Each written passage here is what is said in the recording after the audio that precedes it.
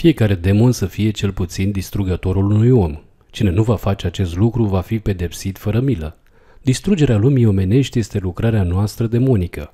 Vom convinge pe însuși Dumnezeu ca să se întoarcă la iubirea îngerilor mai mult decât față de om. Omul este distrugerea noastră a demonilor.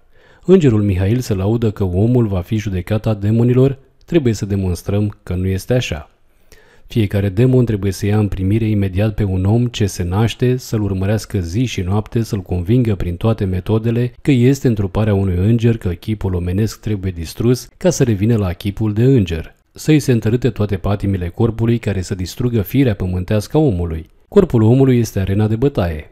Aici, în materia corpului, noi vom făuri mașinile războiului nostru împotriva omului. Distrugând corpul omului, îl vom spiritualiza, dar un spiritual distrugător de omenesc să concepem plăceri de distrugerea materiei corpului omenesc. Să-l momim pe om în misterul corpului, Dumnezeu vrea ca trupul omenesc să fie întrupare de divin. Noi, demonii, trebuie să facem întrupare de demonism ca să oprim iluzia întrupării divine, să băgăm pe om în panica lipsei de materia corpului ca să devină robul materiei, să se închine materiei care va deveni apoi bomba de distrugere a corpului omenesc.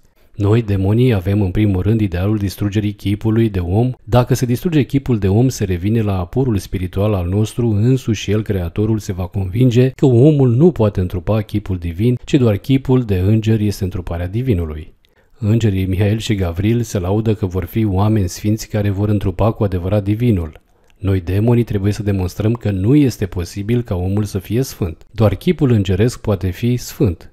Iată lucrarea noastră a demonilor să facem tot posibilul să distrugem orice sfințenie de om ca să ne recâștigăm întâietatea de îngeri. La treabă băieți să ne îndeplinim misiunea sacră de demoni care va convinge pe Dumnezeu că nu trebuie să coboare, ci să ne lase pe noi să facem aceasta. Îi vom demonstra lăudărosului înger Mihail că nu vor fi oameni divizați, ci doar oameni demonizați.